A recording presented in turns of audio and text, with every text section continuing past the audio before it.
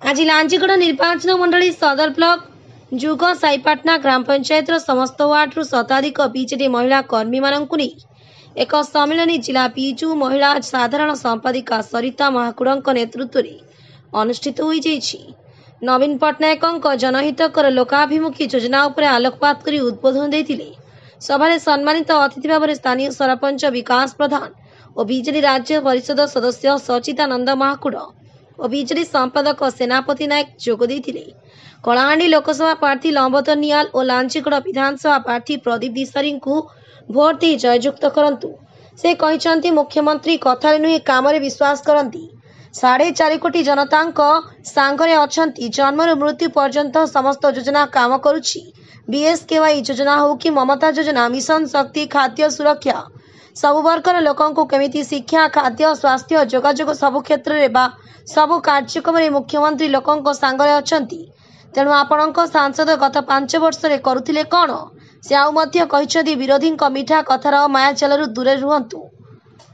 Vote ନେଲା ପରେ ସେମାନେ ଆପଣଙ୍କୁ ଦେଖାଦେବେ ନାହିଁ କି ଖୋଜିଲେ ବି ମିଳିବେ ନାହିଁ। ମୁଖ୍ୟମନ୍ତ୍ରୀ ହେଉଛନ୍ତି ଓଡ଼ିଶାର ପରିବାରର ମୁଖ୍ୟ। ପରିବାରର ମୁଖ୍ୟ ଭାବରେ ସେ ଆପଣମାନଙ୍କ ସମସ୍ତ ଦାୟିତ୍ୱ ନେଇଛନ୍ତି। ଭାଷା ସଂସ୍କୃତି ପୂଜାସ୍ଥଳୀର ଉନ୍ନତି ପାଇଁ ସ୍ୱତନ୍ତ୍ର ଉନ୍ନୟନ ପରିଷଦ ଗଠନ କରିଛନ୍ତି। ଆପଣଙ୍କ ଦରଖାସ୍ତ ଉପରେ କ'ଣ କାମ ହୋଇଛି ସେ ହିସାବ ଦେବାକୁ ମୁଖ୍ୟମନ୍ତ୍ରୀ ନିର୍ଦ୍ଦେଶ ଦେଇଛନ୍ତି। ତେଣୁ ଆସନ୍ତା ତେର ତାରିଖରେ ଯୋଡ଼ିଶଙ୍କରେ ବଟନ ଦବାଇ ନବୀନ ପଟ୍ଟନାୟକଙ୍କ ହାତମୁଠାକୁ ଟାଣ କରିବା ସହ ଓଡ଼ିଶାକୁ ଏକ ବିକଶିତ ରାଜ୍ୟରେ ପ୍ରକା ପରିଣତ କରିବାକୁ କହିଛନ୍ତି। ଅନ୍ୟମାନଙ୍କ ମଧ୍ୟରେ ବିଜେଡି କଳାହାଣ୍ଡି ଲାଞ୍ଚିଗଡ଼ ପ୍ରାର୍ଥୀ ପ୍ରଦୀପ ତିସାରୀଙ୍କ ଉନ୍ନତିମୂଳକ କାର୍ଯ୍ୟ ଉପରେ ମଧ୍ୟ ସେ କହିଥିଲେ।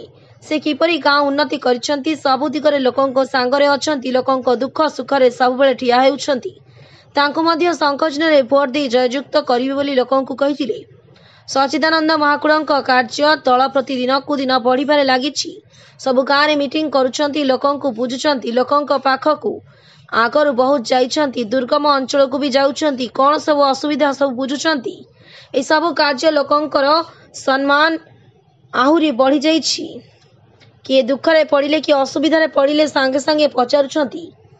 ଭବାନୀପାଟଣାରୁ ବିଷ୍ଣୁଚରଣ ସ୍ୱାଇଁଙ୍କ ରିପୋର୍ଟ ଏକେ ନ୍ୟୁଜ୍।